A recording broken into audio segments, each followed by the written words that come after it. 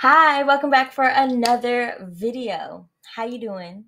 I'm pretty good. I actually just um got home from a hike and then we played some tennis today with my friend.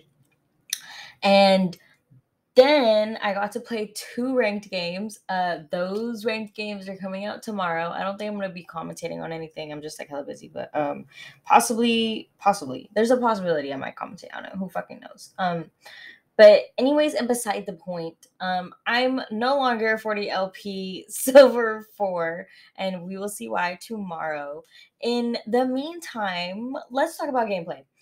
This is a game that I played super fucking loaded. I was so high this day. I don't know what's happening. Um, I played Akali top lane, and honestly, I kind of popped off just a little bit. Considering that this is my fifth time playing Akali, I kind of did better. Okay.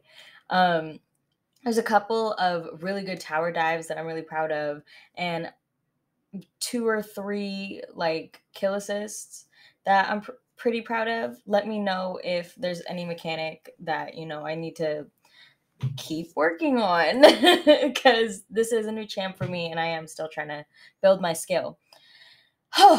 With all of that being said, I hope you guys enjoy. And without further ado, babes, I'm gonna let y'all get into it.